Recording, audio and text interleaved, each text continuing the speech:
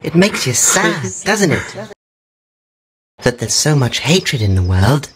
I hope you don't mind if I ask you a question. Now wear this ring And join the gang. And you will never be alone